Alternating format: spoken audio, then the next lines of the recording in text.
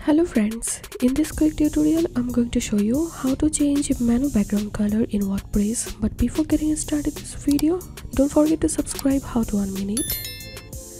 First of all open your website and then right click and then click on inspect. And now select select tool and then select your menu and here you can see my menu class name is primary menu. So you have to copy the menu class name then cut this and then click on customize.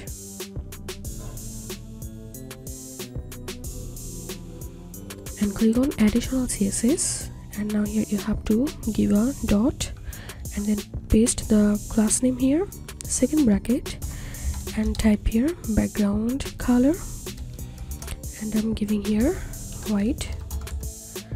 And then here you can see background color has been changed but uh, it's looking not perfect. So here's another thing you can do. Go back and click on colors. And here you can see option header and footer background color. And you, you can change the background and footer color from here.